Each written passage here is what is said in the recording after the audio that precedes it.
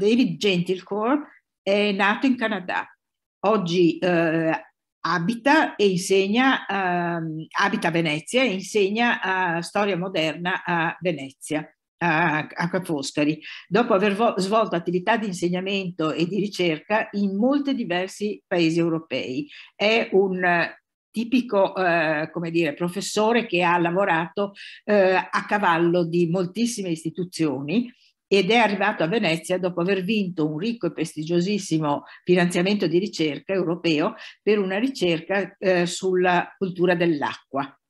Eh, l'acqua da bere, eh, pratiche sociali, eh, caratteri materiali come l'ingegneria idraulica e la legislazione relativa all'acqua. Mm, ma ha svolto attività eh, di, di, ricerca eh, veramente in moltissime università mh, mm, di tutta Europa. Eh, io devo dire, l'ho conosciuto moltissimi anni fa, non so quanti, ma sicuramente tanti, David, a Leicester, quando io ero stata invitata come visiting professor al Center for Urban History, eh, centro di storia urbana, e lui era eh, allora professore di storia della medicina eh, sempre all'Università di Leicester. È stato poi professore all'Università di Warwick, eh, poi a Londra, al centro dell'Università di Harvard a Firenze, il centro Ita- la Villa Itatti per lo studio del Rinascimento italiano. Ha vinto altri prestigiosi premi, eh, lavorando molto sulla storia della medicina, eh, in particolare al, dall'Ordine dei Medici di Salerno un premio per un libro che ha pubblicato in cui parla di ciarlatani in medicina. Si è interessato di storia delle religioni nell'età della Controriforma, delle religioni popolari. Uh, si è interessato molto di storia della medicina e della salute, si è interessato di storia dell'alimentazione. Quindi capite che il suo arco di temi è abbastanza ampio, ma interrelato, eh, i diversi aspetti sono molto interrelati fra di loro. Noi l'abbiamo chiamato nel quadro delle nostre iniziative sulla storia dell'alimentazione eh, sapendo che lui ha partico- in particolare lavorato sulla assimilazione di prodotti coltivati nel nuovo mondo, come il pomodoro, la patata, e poi appunto l'impatto del mais, che è l'argomento di cui parlerà questa sera, sulla società del nord-est della penisola italiana fra 1750 e 1930 e sulla conseguente diffusione della pellagra, eh, tema che ha visto coinvolta anche Venezia mh, e in particolare l'isola di San Servolo con la questione del eh, manicomio. Eh, come vedete, quest'ultimo è un tema che lega fra loro l'alimentazione e la salute e, questo, e quindi anche la malattia, e questo è sicuramente un tema eh, particolarmente eh, come dire, presente oggi nella vita un po' di tutti, un tema di grande attualità. Eh, il, il, titolo l'avete sotto gli occhi, Matto di San Servolo, Mais, Pellagra e Pazzia nei manicomi veneziani del secondo Ottocento. Grazie David, a te la parola. Grazie, grazie Donatella per quella bella, questa bella presentazione, grazie anche dell'invito a, a fare questa lezione di storia. E, ehm, come Donatella ha accennato, questa non è una storia del mais, ma più uno degli effetti collaterali del consumo del mais durante il corso dell'Ottocento. Eh, quindi per darvi una definizione di pellagra e del legame tra pellagra e pazzia pellagrosa, propongo di cominciare con un esempio, un caso. Eh, nel, nel 14, il 14 di settembre 1862 un dottor Filippini eh, del manicomio di Feltre scrive al direttore del manicomio di San Servolo a Venezia e vuole trasferire un paziente suo che soffre di eh, pazzia pellagrosa, detto anche follia pellagrosa. Io uso sempre i termini eh, dell'epoca. Dunque, questo malato, che si chiama Domenico, Domenico G, per non uh, dire il cognome, è, è un quarantenne, un contadino, sposato, Uh, nella primavera del 1861, secondo, eh, questa lettera del dottore ebbe spellature al dorso delle mani, al collo dei piedi e dall'apice del torace. Questa è la, la prima fase di eh, Pellagra. Poi l'autunno seguente cade in delirio. Questa è, è, già la terza fase, questa pazzia. Um, nel marzo del 1862, perché fuggiva dalla famiglia e propendeva ad atti pericolosi alla propria esistenza, venne condotto ed accolto in questo nosocomio. E continua ai Filippini. Soffre di un disperato, incessante, clamoroso delirio. Si crede irreparabilmente dannato e si batte rabbiosamente coi pugni e vorrebbe togliersi la vita. La causa, secondo Filippini, il male della miseria, pellagra endemica. Al, al monocomio di, di Feltre si curano le lievi complicazioni gastriche, cioè la diarrea che, che accompagna la pellagra quasi dall'inizio, e si dà a Domenico un'alimentazione riparatrice. Tuttavia, risulta impossibile dargli una sicura custodia, cioè è troppo pericoloso e per cui eh, il medico chiede il trasferimento al manicomio veneziano di San Servolo. Ecco qua, scusate, ecco, questa è la, una illustrazione dell'inizio dell'Ottocento di, di, di, di, questa malattia della pelle, la, la prima fase. Poi da cent'anni più, più, tardi una scena domestica eh, di pazzia pellagrosa che un po' richiama la situazione del povero Domenico. E, ehm, quindi in questo periodo la pellagra è una malattia che si viene, viene percepito uh, come uh, viene percepito un legame, un legame forte tra un'alimentazione a base di polenta, cioè un'alimentazione maidica, e questa malattia, con altri fattori in qualche modo eh, che contribuiscono a, a, alla malattia, cioè la miseria estrema, eh, i lavori duri del contadino con eh, possibili altri fattori mh, ereditari, per esempio. Eh, una malattia che si osserva porta eh, a diverse fasi che porta alla pazzia e infine alla morte.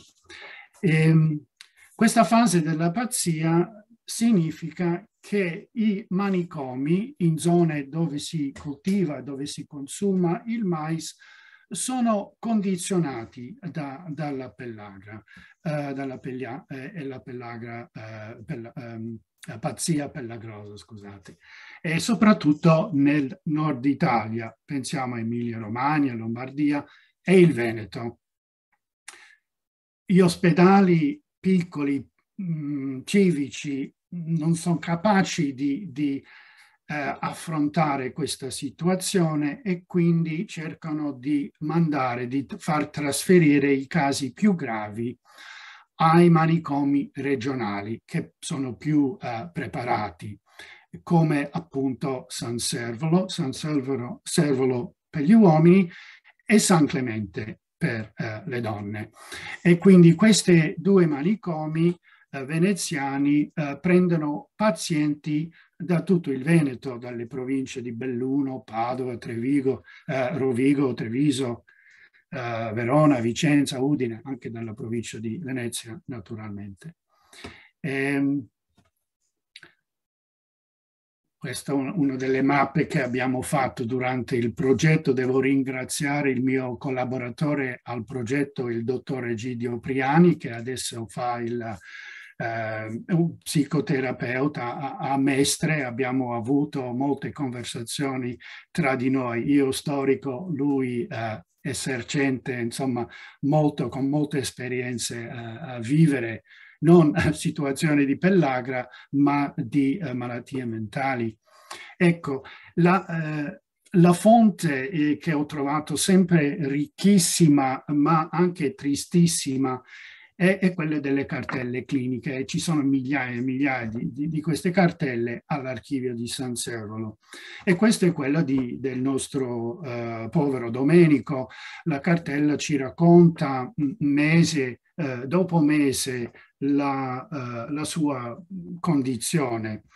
All'inizio, per esempio, la sua disponibilità a prendere i medicinali che gli vengono prescritti, ma il suo rifiuto a, a mangiare, rifiuta il cibo. Ehm, eh, racconta la sua aggressione iniziale, i suoi episodi di, di rabbia mh, mm, che necessitano l'uso della camicia di forza. Poi come questi episodi diventano apatia totale, con il paziente che si rannicchia in un angolo della stanza. Nel febbraio del 1863, qui sempre a San Stefano, le sue condizioni sembrano migliorarsi. Eh, si vede Domenico che fa delle faccende domestiche, dorme tranquillamente, mangia bene, benché sia ancora eh, taciturno. A marzo comincia a lavorare nell'orto del manicomio. Questo fa parte della sua terapia, ma rimane sempre debole. Poi a maggio viene colpito da un raffreddore e da una febbre, e cito dalla cartella, così intensa che sembrava malato di colera. Diventa sempre più taciturno, letargico, melanconico eh, i familiari preoccupati chiedono le sue dimissioni e il suo ritorno a casa. Ma la presenza di Domenico a San Servo finisce su questa nota triste e forse vedete la crocetta in fondo alla cartella. Morto da gastroepatite il giorno 9 febbraio 1865 alle ore 1 pomeridiane, dopo anni due mesi 4, giorni 25 di degenza. Il caso di Domenico ci fa come, fa, fa come introduzione alla, alla tema, al tema di Pellagra e, e soprattutto la pazzia uh, pellagrosa e i tre fasi, no? le tre fasi. In un certo senso vorrei uh, dividere la mia la presentazione in queste tre fasi, cioè la prima fase, il ricovero, eh, poi dirò qualcosa sulla degenza, sulla cura eh, offerta a, a, questi malati a San Servolo e a San Clemente. E poi concludiamo con le dimissioni, il ritorno questi pazienti, di questi pazienti alla società, oppure eh, una fine, un fine finisce con la morte. Ecco, questa è l'altra possibilità Ehm, ma cominciamo con, con il ricovero. Eh, ehm, per, comincio con una specie di introduzione alla malattia perché la pellagra ebbe effetti devastanti eh, nell'Italia del secondo Ottocento.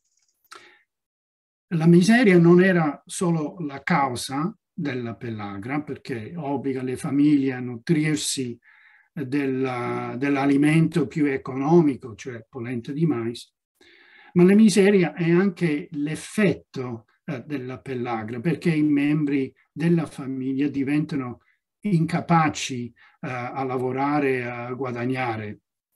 Eh, la pellagra è una malattia ricorrente, ehm, cioè ogni anno cioè, c'è questo ciclo che magari durante i mesi invernali e primaverili, quando scarseggia il cibo, eh, si, si, mangia quasi solo eh, polenta di mais. Poi con l'estate, l'autunno, magari c'è più varietà e la malattia passa, però torna eh, l'inverno prossimo.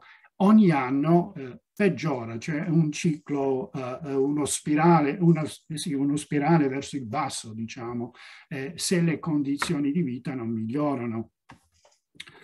È il caso di Lucia, Lucia P, è rappresentativo, figlia di genitori ambedue pellagrosi. Uh, Lucia si alimenta di sola, sola polenta recita la sua cartella clinica. Uh, in ogni primavera, fin da ragazza, andò soggetto ad eritema pellagrosa. A 40 anni fu accolta nell'ospedale d'Udine per malinconia.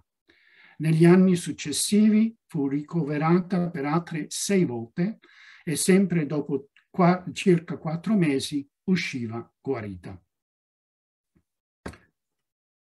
Secondo le stime ufficiali, negli anni 70 dell'Ottocento ci sono circa 100.000 pellagrosi in Italia, quasi un terzo dei quali nel Veneto. Però questi sono solo i casi documentati. Eh? Si stima che la morbidità eh, sia il doppio, se non di più. Eh, la proporzione di pazzi pellagrosi, la proporzione dei pellagrosi totali è più eh, difficile a accertare, ma le, le stime dell'epoca danno una proporzione di 3%, quindi per 100.000 pellagrosi ci sono 3.000 pazzi pellagrosi, ma è sicuramente molto, molto eh, di più.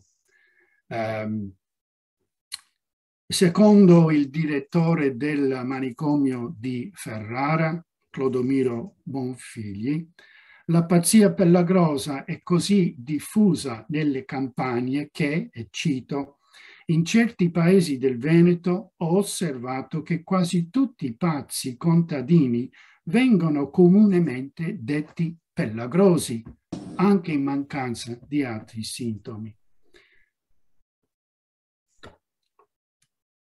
Verso la fine del secolo assistiamo a un aumento sia nel numero di manicomi, sia nel numero dei malati che vengono ricoverati in questi manicomi. Un approccio Foucauldiano direbbe, beh, questa è la, la, la professione psichiatrica del, dell'epoca che cerca di, di, dimostrare il suo potere, la sua uh, influenza, eh, ricoverando i malati.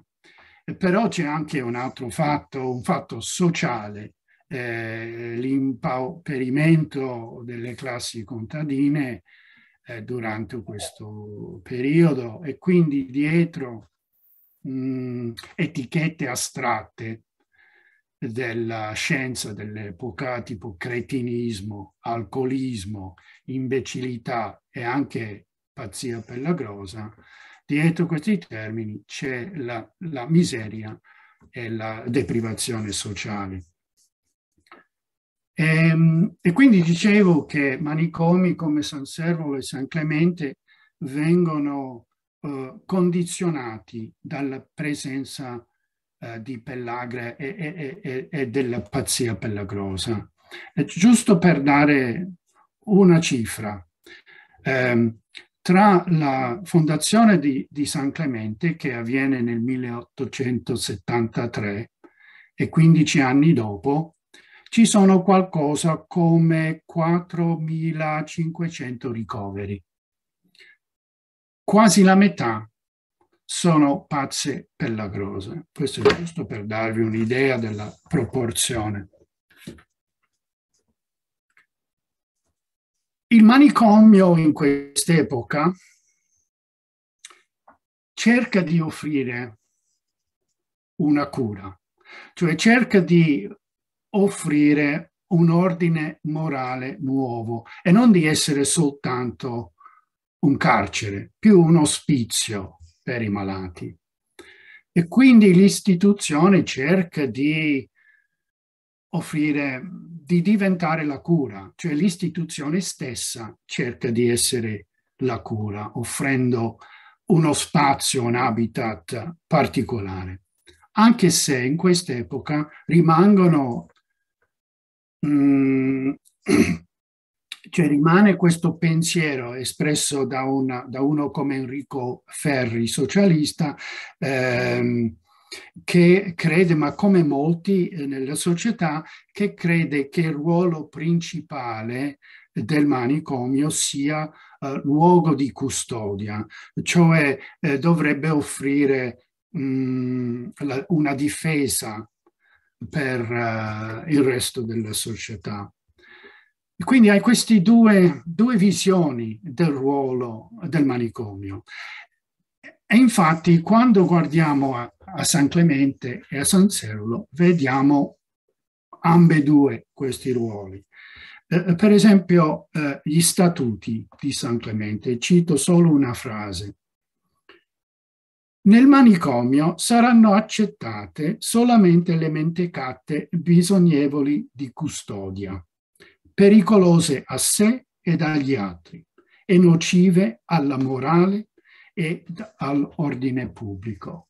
Già le parole usate danno un'idea e tutta la procedura che ruota intorno al ricovero dei malati ehm, che coinvolge sindaci, sacerdoti, eh, forze dell'ordine, eh, è, una, è una procedura di forza quasi, di controllo. La gran parte dei malati pellagrosi, dei pazzi pellagrosi nei due manicomi veneziani, vengono rinviati, trasferiti dagli ospe- ospedali civici del uh, Veneto.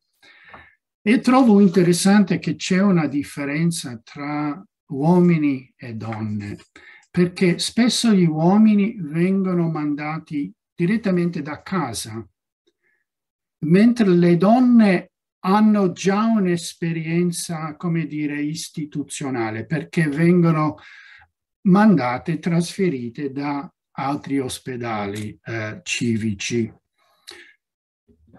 A cosa attribuire questa differenza?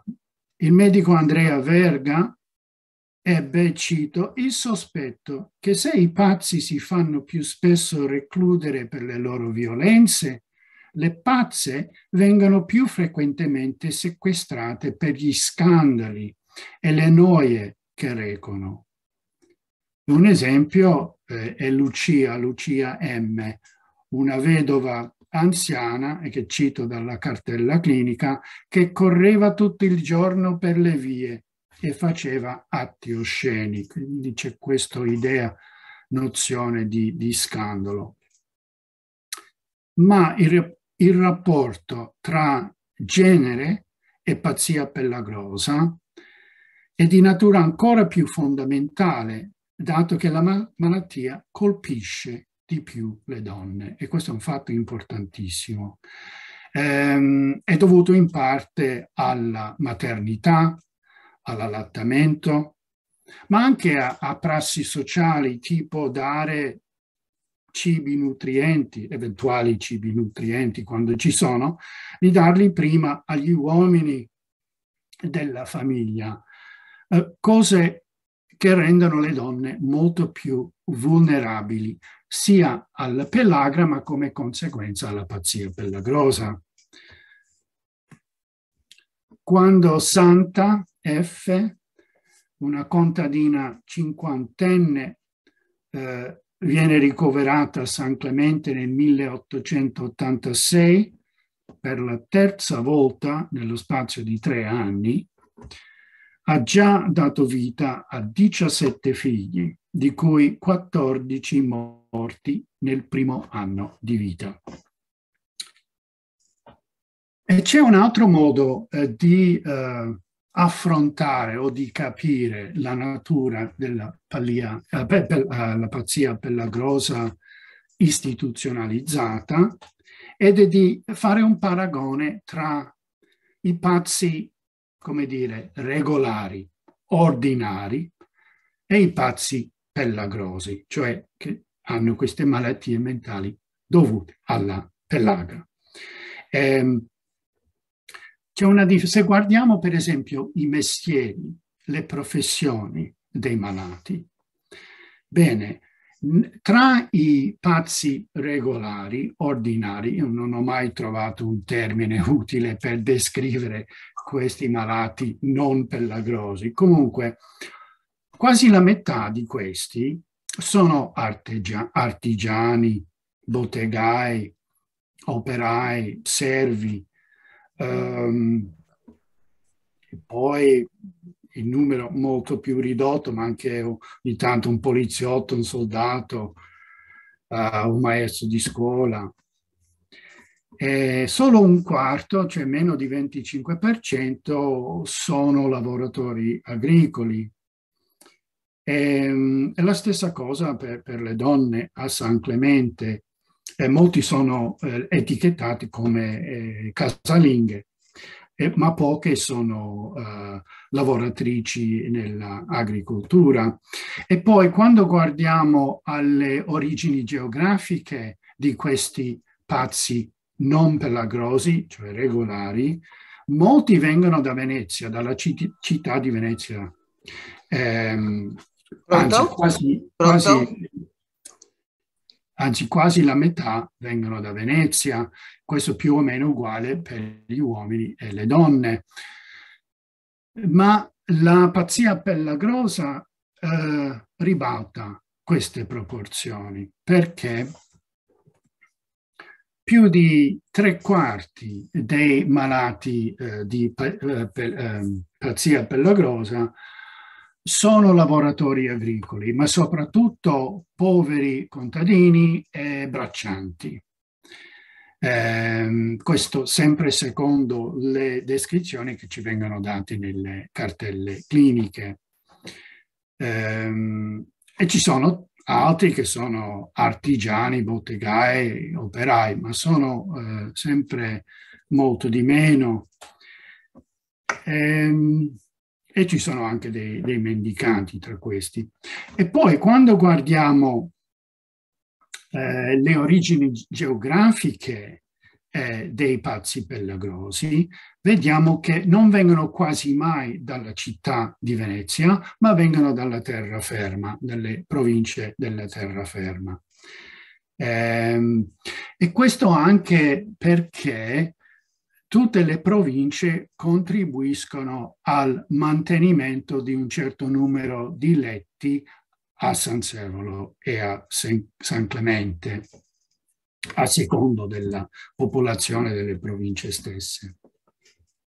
Ma è un costo, è eh? un costo che aumenta. Per esempio, sappiamo che negli anni 90 dell'Ottocento prima, cioè il mantenimento la, dei uh, pazzi pelagrosi a, ai due manicomi veneziani è la prima voce di spesa per la provincia di Treviso, giusto per dare un'idea de, del costo di questa attività, di questo contributo.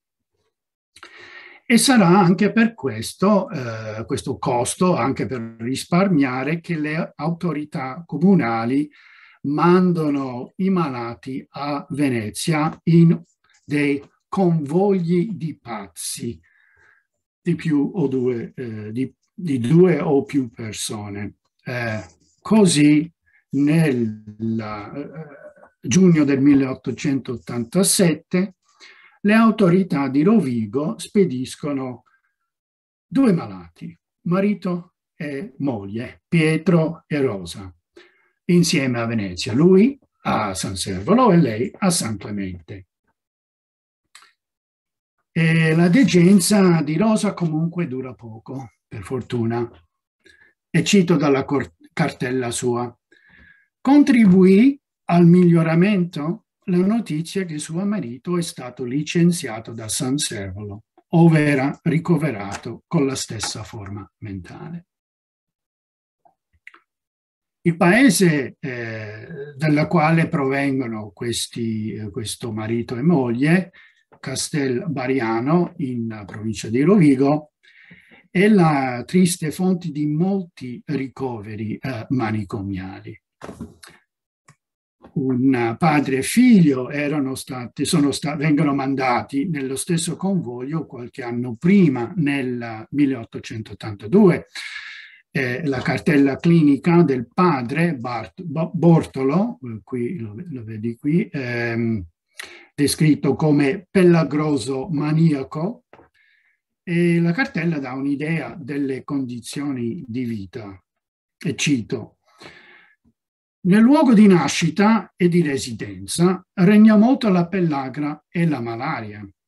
L'attuale sua abitazione è umida, non penetra mai il sole dalle sue finestre. Bortolo è miserabile, debolissima la costituzione fisica, nutrizione deperita, vito esclusivo di polenta di frumentone. Di circa un anno accusa dolori al capo, al petto, al ventre. Traballa continuamente, in modo che non si può lasciare solo. Minaccia se stesso e gli altri. Ambedue i genitori di Bortolo eh, erano stati pellegro, pellagrosi a loro volta, come lo sono anche i figli di Bortolo. Eh, questo è uno dei figli, il più grande, eh, Rocco, che viene eh, rinviato a San Servolo insieme al padre. E povero Rocco l'anno prima eh, aveva sofferto di uh, malaria, quindi uno di quei paesi soffrivi sia di pellagra che di, di malaria. Però una cosa è interessante, ehm, è che tutti e due, padre e figlio, vengono dimessi dal manicomio, guariti, secondo la cartella, dopo appena tre mesi. E questo è, una, è un aspetto della pazzia pellagrosa, cioè la sua curabilità.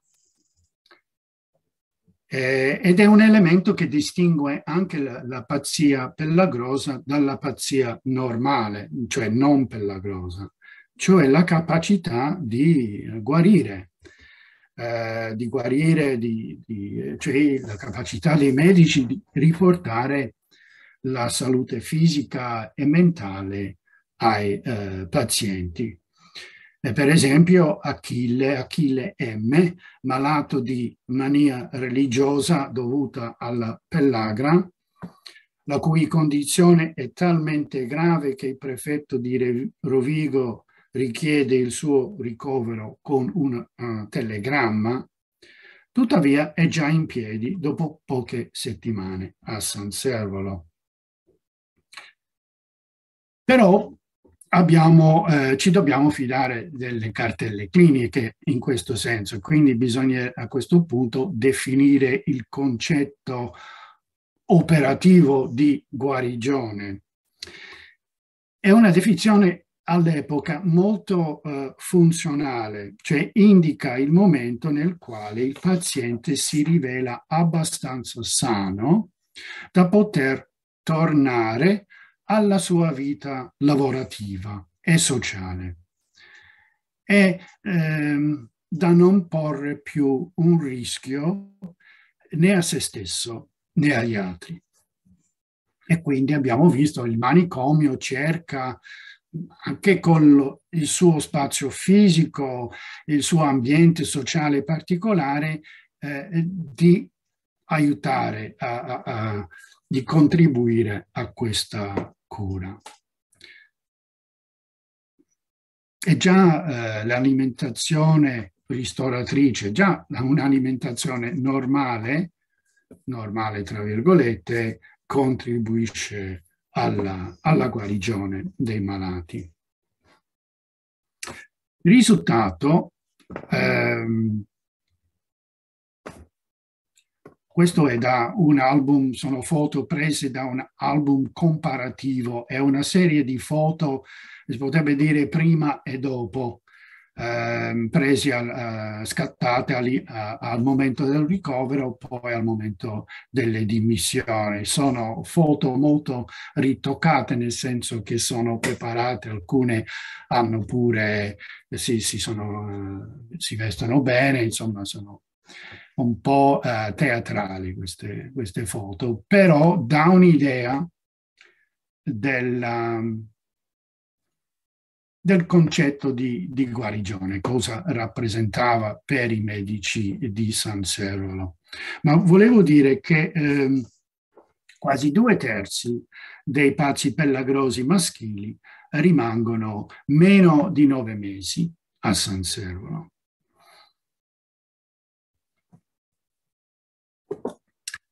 La pazzia pellagrosa, secondo il direttore di San Servolo, cito, si presenta sotto tutte le forme della pazzia.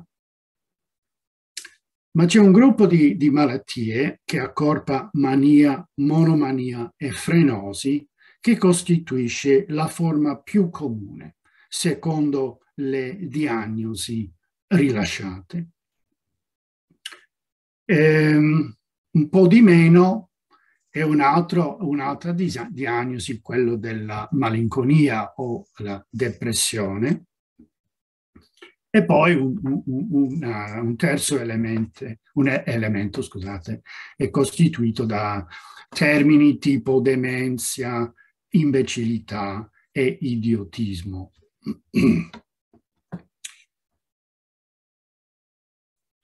I medici che studiano uh, la pellagra e la pazzia pellagrosa, i pellagrologi, hanno in comune un'esperienza manicomiale, un'esperienza professionale nei manicomi, diciamo così, perché è il sito privilegiato per lo studio della malattia e anche per poter osservare le varie fasi e anche provare nuove eh, terapie. Però non significa che questi pelagrologi fossero d'accordo sulle cause della pelagra e, e sulle cure. Anzi, c'erano, eh, ok, erano d'accordo su c'entrava la miseria, chiaramente. Eh, però, come diceva il direttore di San Clemente, Cesare Vigni, eh, la miseria c'è dappertutto nel mondo, ma la pellagra no. E continua Vigna, dice, tutte rovistate le possibili cagioni generatrici della pellagra, sola, immanchevole, immanchevole è quest'una, esclusiva ed insufficiente alimentazione del contadino. Ma cosa vuol dire? Uh, in questo periodo ci sono due tendenze, due opzioni teoretiche per uh, uh, spiegare la causa della, della pellagra e della pazzia pellagrosa, o uh, carenza alimentare o una specie di veleno, di tossine che si sviluppa nel mais.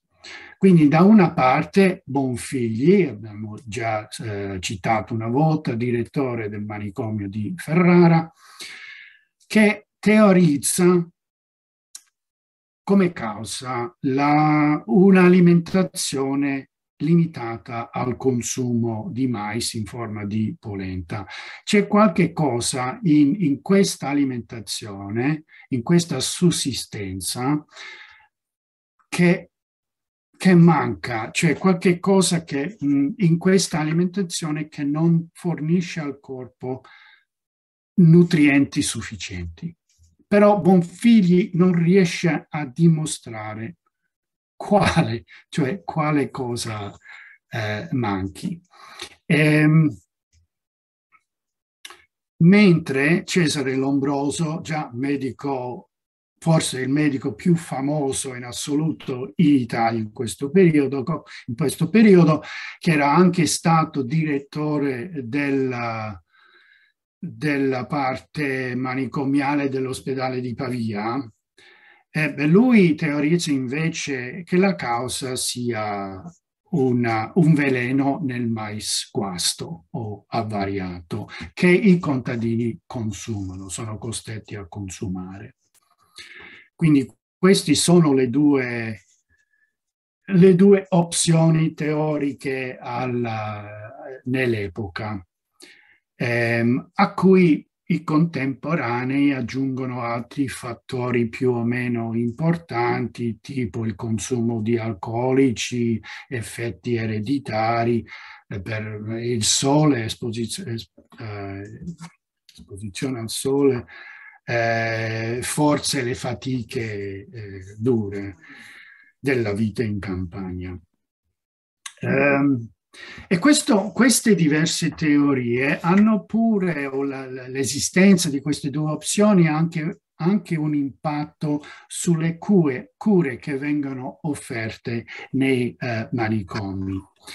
Eh, ecco, questa è un'illustrazione della farmacia di San Servolo che è importante perché rappresenta l'aspetto, diciamo, farmaceutico della cura che viene offerto, perché per l'ombroso bastano i medicinali a guarire la, uh, la pellagra. Um, i, sui, i suoi, um, le sostanze che secondo Lombroso bastano a, a, a guarire questa malattia sono acido arsenico e acetato di piombo. Ecco, stiamo parlando di, di veleni. Ehm, a un certo punto Lombroso nel 1883 propone al direttore dell'ospizio per i Pellagrosi a Moliano Veneto, Costante Gris, propone una specie di prova. Dice a Gris di prendere 40 pellagrosi, ok, qui non stiamo parlando di eh, pazzi pellagrosi, ma di pellagrosi. Eh, propone a Gris di lasciare stare l'alimentazione, cioè di dare solo l'alimentazione di prima, normale, non ristoratrice, ma di eh, dare ai pazienti soltanto questi suoi eh, rimedi eh, che sono, eh, vengono forniti dalla, dall'azienda Carlo Erba. Dopo cinque mesi di questa prova, Gris vede che i suoi 40 pezioni, eh, pazienti scusate, stanno peggio di prima e quindi di sua propria iniziativa dice di lasciar stare, di lasciare da parte questi farmaceuti, eh, prodotti medicinali, non riesco a dire farmaci, ecco farmaci, ehm, e di dare a questi pazienti solo un'alimentazione ristoratrice. Quindi, e poi i risultati straordinari. Gris scrive a Lombroso, tramite o per via di questa alimentazione ristoratrice e senza ricorrere a questi farmaci ho ottenuto risultati molto migliori. A questo punto Lombroso non scrive più a Gris e l'amicizia o la collaborazione si interrompe. Ecco. Ma per, giusto per darvi un'idea che c'erano diverse opzioni di cura. C'è, un, una forma di cura che, eh, a cui eh, partecipano, a cui eh, bene, beneficiano, si dice. Uh, scusate l'italiano, poi è stato un, un lungo viaggio, sono stanco. Ecco, dicevo, ehm, una forma di, di, cura che quasi tutti i, i pazienti Beh, quasi tutti i pazienti vengono, si può dire, quasi obbligati a provare. Ed è l'ergo, l'ergoterapia, cioè il lavoro. Abbiamo già eh, detto di Domenico eh, che lavora nell'orto per un breve periodo di tempo, l'orto di San Servolo. E questo è, è un tipo di lavoro che è senz'altro utile all'economia del manicomio, ma soprattutto è utile, secondo i medici dell'epoca, al paziente. Eh,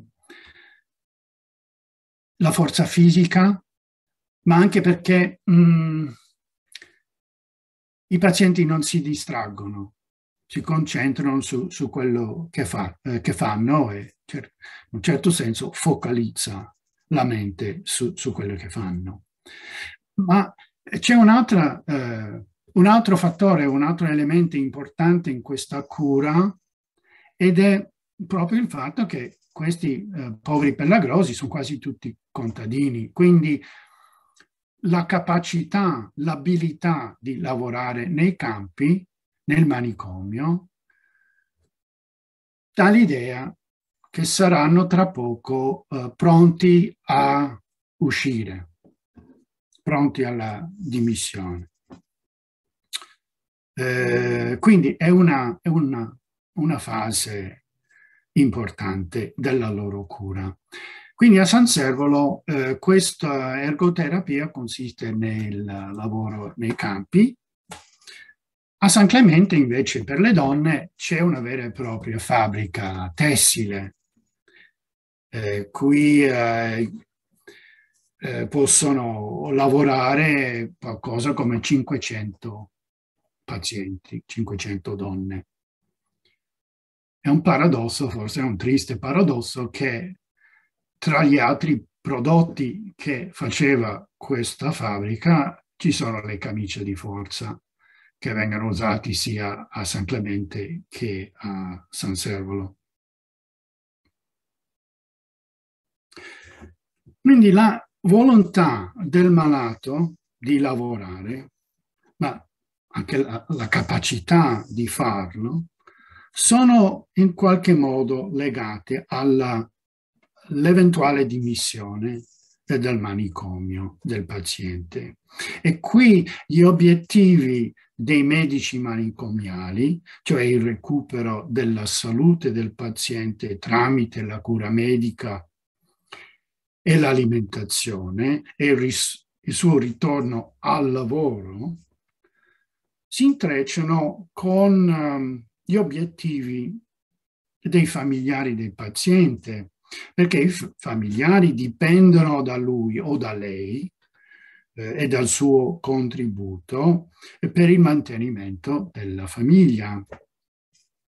Quindi se i manicomi veneziani, ma non solo quelli veneziani, eh, funzionano come una parte di un sistema di controllo sociale, i malati e le loro famiglie sanno sfruttare le risorse che queste istituzioni offrono, risorse caritatevoli, risorse pubbliche, fa parte di una strategia di sopravvivenza.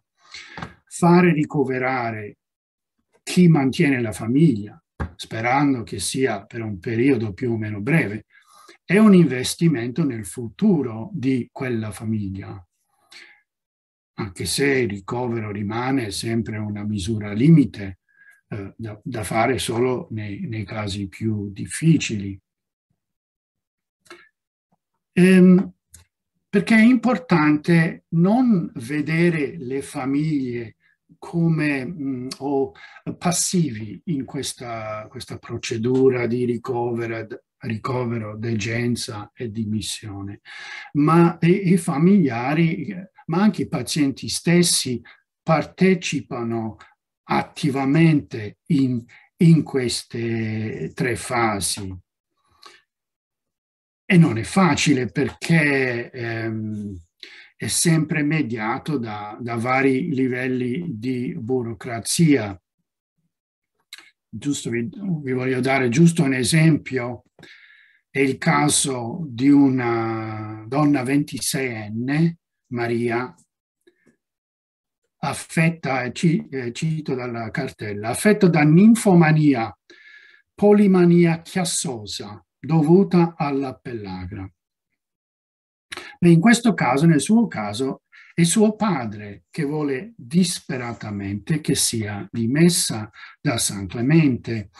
Il 20 novembre di 1882 il sindaco di Pedavena, Pedavena il paese originario di Maria, scrive alle autorità di San Clemente per informarle che il padre di Maria, Giobatta, viene tra poco a ritirarla e il sindaco rivela il vero motivo, motivo di, di tanta urgenza, perché il padre aveva già eh, comprato i biglietti eh, per uh, la nave Francoforte e che parte da Genova il 5 di dicembre per gli Stati Uniti.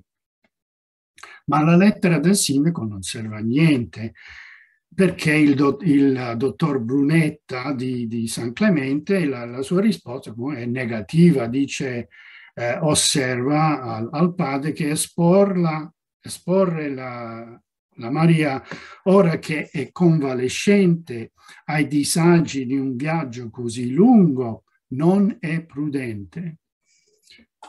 Il padre insiste e quindi Maria viene finalmente dimessa il 14 di dicembre. Non so se ha perso la nave o no, non, eh, non viene scritto e non sappiamo neanche se Maria quindi eh, fece questo viaggio lungo e arduo oltreoceano. Eh, però il caso ci illustra anche questo rapporto, un stretto rapporto che c'è nel Veneto tra la pellagra endemica e l'emigrazione di massa. Sono gli stessi decenni eh, gli ultimi decenni de, dell'Ottocento. Tutti e due i fenomeni raggiungono un, un apice durante questo periodo. Due terzi dei pazzi pelagrosi vengono dimessi dai eh, manicomi veneziani o guariti o come nel caso di Maria migliorati. Ma c'è un ma, perché eh, se le condizioni fisiche e mentali dei eh, pazienti peggioravano, il risultato era spesso la morte. Eh, perché, eh, e non solo la pellagra e la pazzia pellagrosa colpivano più le donne che gli uomini, come abbiamo visto, ma le donne ne morivano di più la causa di morte più comune nei manicomi era la diarrea cronica che accompagnava la malattia dal suo inizio. Eh, tra i pellagrosi le malattie gastrointestinali e debilitanti, eh, come la cachessia, eh, erano responsabili per quasi la metà dei morti in manicomio, eh, anche se è molto di più tra le donne, perché quasi il 60% tra le donne a San Clemente, mentre tipo 37%, 37% eh, degli uomini a, a, San, a San Servolo. Eh, ci sono altre, eh, ups, no, no.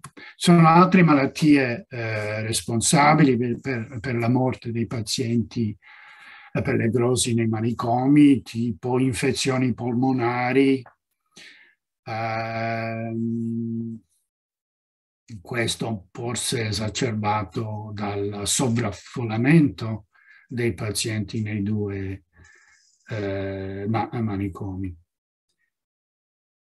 Ma vorrei parlare invece ora, per concludere, dei due terzi dei pazienti pellagrosi che vengono dimessi dai due manicomi.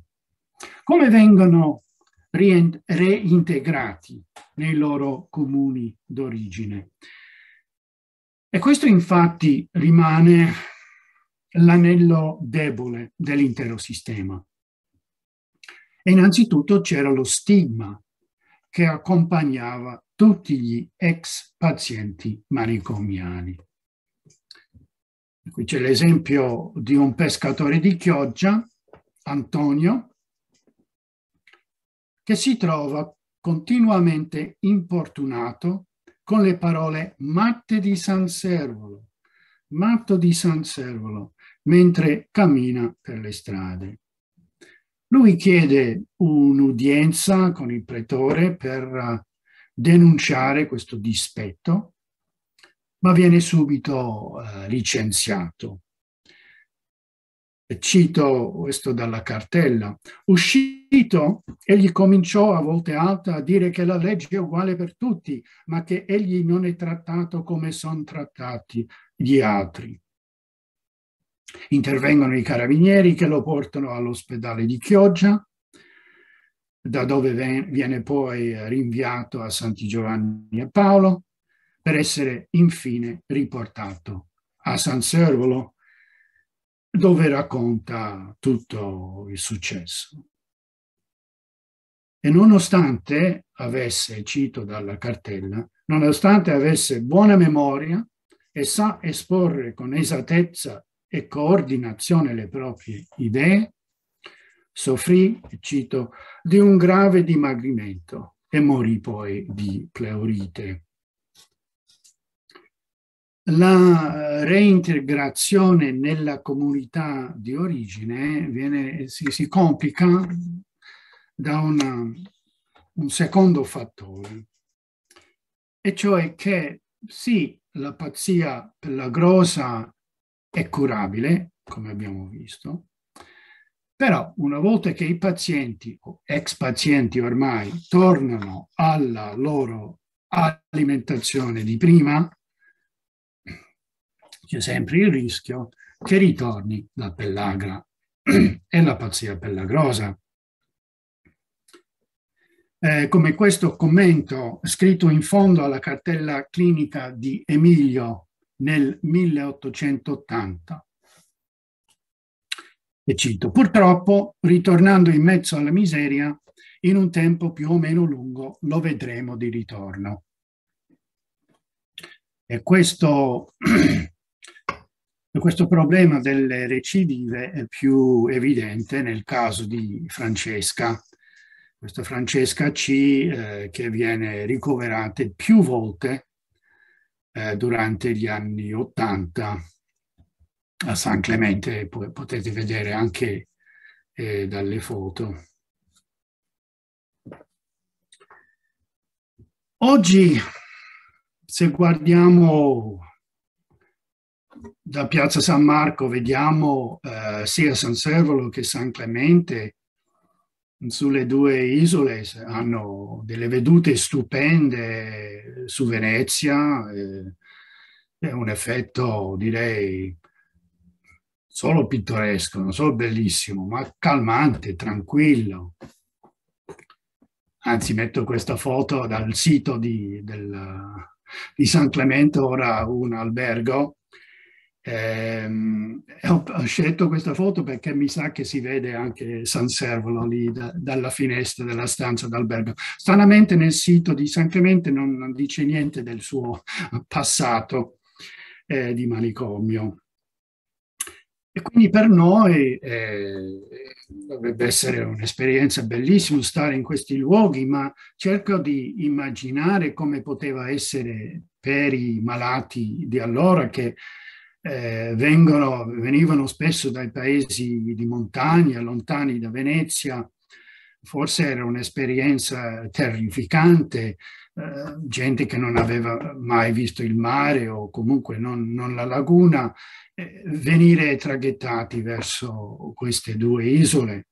C'è qui quasi una, un doppio grado di separazione, sia dalla terra eh, ferma i paesi di origine, ma sia dalla città lagunare stessa.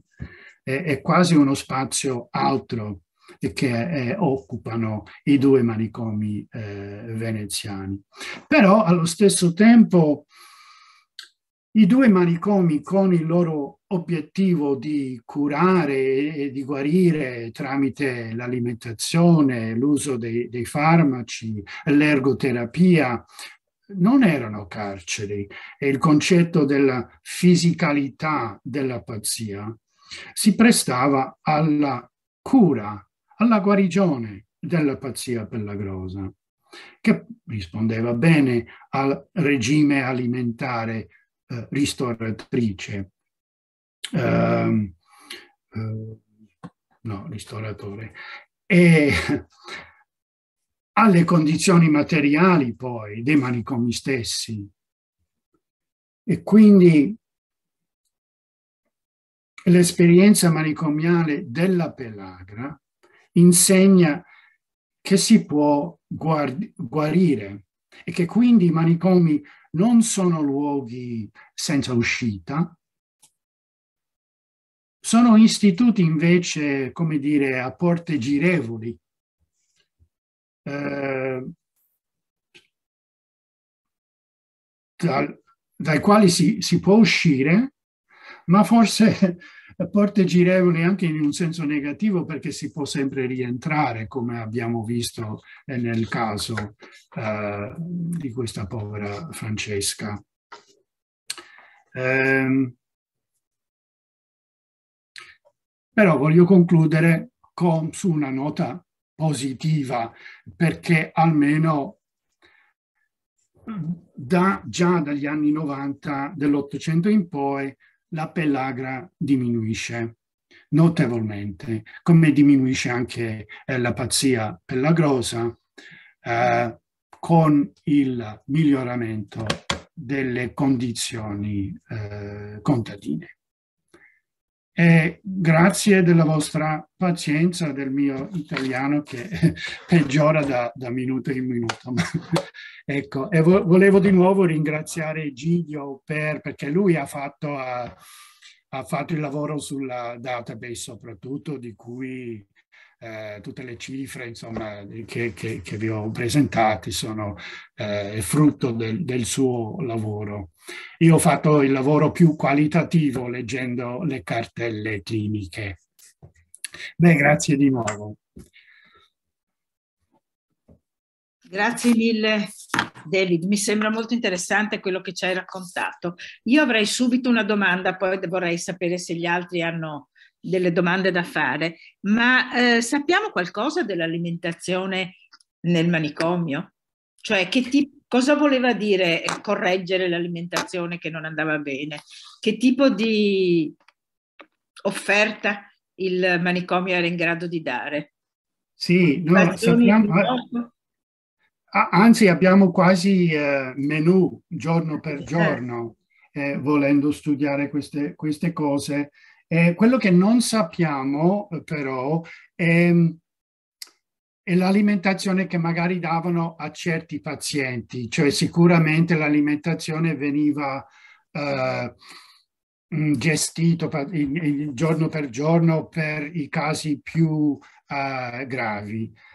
Eh, però l'alimentazione di base era piuttosto ricca, c'era molta carne, eh, spesso anche carne di cavallo, queste cose qui, però è, era una, erano alimenti che davano forza secondo i criteri eh, dell'epoca. E c'era anche la polenta, ecco, ehm, però c'era, c'era riso, pasta e soprattutto pane. Eh, e quindi sono tutti alimenti, dovrei, dovrei dire, che contengono ehm, quello che manca nella polenta, ossia uh, l'acido nicotinico. Cioè l'acido nicotinico, niacina, è presente nella polenta, ma non è assimilabile dal corpo, non è presente in una forma che il corpo riesce ad assimilare.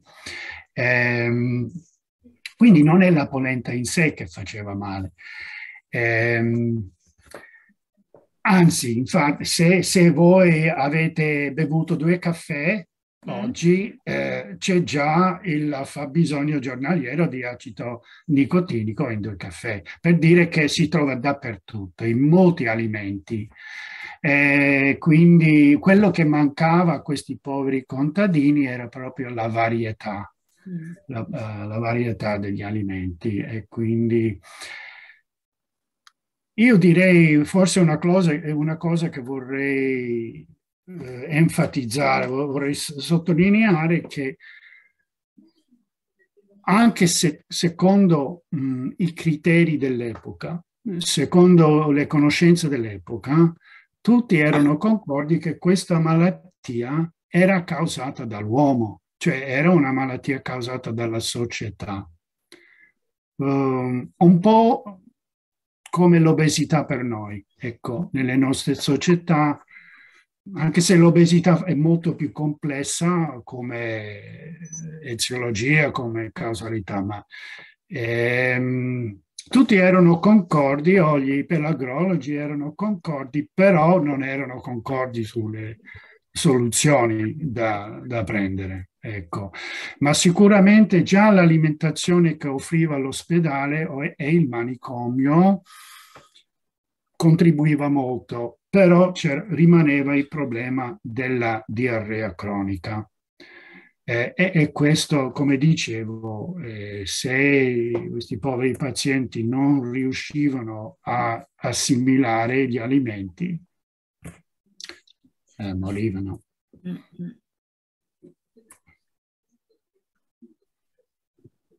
Sartori chiede se c'è qualche informazione in più in merito all'azienda tessile, penso quella che c'era all'interno dell'ospedale. Sì, sì. Ehm, no, quello... Eh, eh, ci sarebbero senz'altro perché gli archivi di San Clemente e di San Servolo, che sono tutti adesso tutti e due su, sull'isola di San Servolo, eh, sono ottimi, sono, sono um, cioè non manca di niente, sono intatti eh, e quindi su ogni aspetto, per esempio, eh, noi a un certo punto abbiamo voluto fare un'indagine sull'uso della fotografia che già dagli anni 70 sulle cartelle cliniche appaiono le prime foto.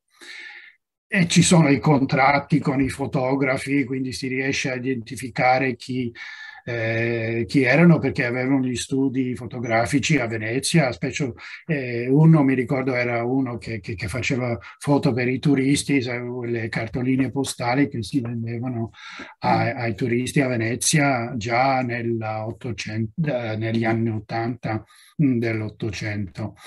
E quindi sicuramente ci saranno anche informazioni sulla, sulla la, la fabbrica tessile. Ehm, mi ricordo solo una cosa strana, però, eh, questo secondo una descrizione di un visitatore, uno psicologo australiano che fa un giro di tutti i manicomi d'Europa negli anni 90 dell'Ottocento e descrive gli interni di San Clemente e nota come ci sono in fondo alla fabbrica tessile, cioè quella foto eh, che vi ho fatto vedere, questo risponde lentamente, cerco di... Ecco, ecco la foto. Eh, in fondo, ma non si vedono, c'erano le catene. Eh, e quindi uno allora viene spontaneo chiedere, ma era veramente l'ergoterapia una cosa volontaria? perché se, se ci sono le catene... Mm, ehm, c'è anche una foto che non ho fatto, vi ho fatto vedere dell'interno della lavanderia di San Clemente e quella foto è interessante perché è piena di donne, donne al lavoro. Sembra una foto fatta da, eh, scattata da, dal vivo, mentre queste foto sono, si nota l'assenza di, di persone. Eh, si nota per esempio l'ambiente ordinato, pulito. Eh, sicuramente non era così eh, durante la piena attività. Eh, però è una, è una, bella domanda, ci sono tante ricerche come, da, da, fare ancora, come, come anche quello di, di, di Donatella all'inizio sull'alimentazione, veramente. Io adesso che sto facendo questo progetto sull'acqua, mi veniva da, da, volevo sapere come si rifornivano di acqua potabile perché prima degli anni 80 e l'arrivo dell'acquedotto beh, non lo so, ecco, ma i documenti ci sarebbero. E so che c'è, c'è un pozzo, per esempio, a, a San Servolo, sì. eh, ed è una cisterna grande perché eh c'è, c'è la, la, piazzetta abbastanza grande davanti alla chiesa ma di San Clemente non so assolutamente niente perché non ci sono mai stato. L'unico modo per andarci è di, di andare a stare nell'albergo.